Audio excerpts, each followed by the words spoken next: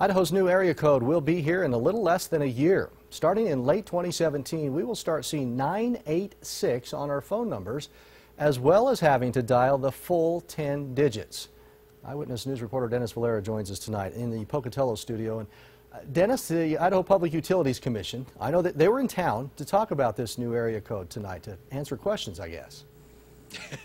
they sure were, Todd. Now, the PUC is traveling around the gem state, making sure Idahoans know dialing just seven digits, like you see on the sign here, will soon be a thing of the past. Once the area code is in place, everyone's going to have to dial 10 digits. So we need to get customers used to that idea. An idea that will become a reality in late 2017.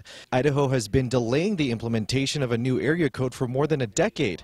But with so many phones, tablets, and other technologies, it had to be done. Every app that you use on an iPad or in a phone has its own number. Mm. Every ATM machine has its own number. So there are a lot more uses for telephone numbers than just telephones. All current Idaho numbers will keep the 208 code, as the 986 code will only be on new phone numbers. While we won't have to dial 986 for some time, it's advised we start 10-digit dialing soon.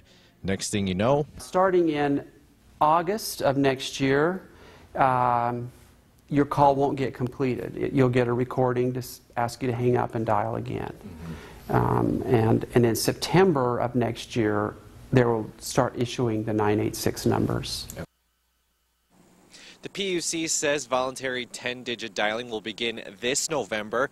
You can still dial just seven digits. Those calls will still go through. But again, by August of next year, only 10-digit dialing allowed. Live in Pocatello, I'm Dennis Valera. So 8675309 won't work anymore. okay. No, no, we still got to just we got to dial all 10, Todd. Got to put all the 10. area code in front of Jenny's number. Okay. Thanks, Dennis. Idaho has had the uh, 208 area code since 1947.